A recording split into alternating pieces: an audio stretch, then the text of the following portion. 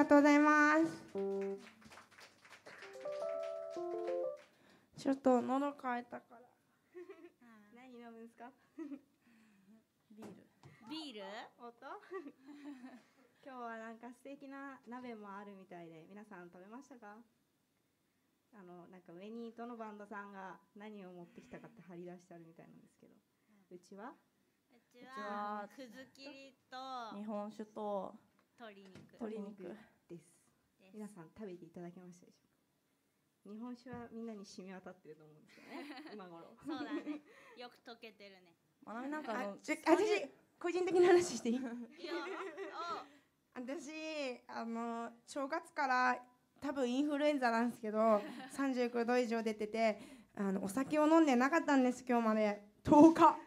ありえないね。ありえない。酒抜きそうなの。そうね。でもなんだっけ。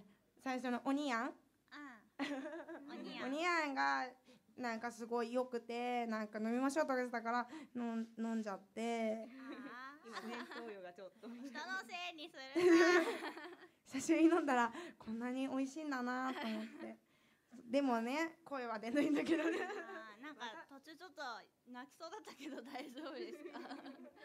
まあ多分一緒に飲む機会ないと思うんですけど、この人と一緒に飲みに行くときは気をつけた方がいいですね。みんな保険証持ってきた方がいいと思います。あそう保険証持ってきて私と飲む時は保険証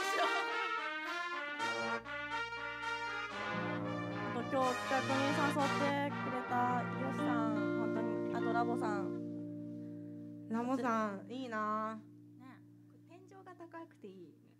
ペンギンの映私あの今年の24時間のやつ出たいな私。何何？なんかあるんだよ。24時間。おお私悪いけど24時間いるから。ずっと飲み続けるんでしょ？うん耐久。それやりたい。あでも別に出なくてもいいんだな。いればいいよね。本当にありがとうございます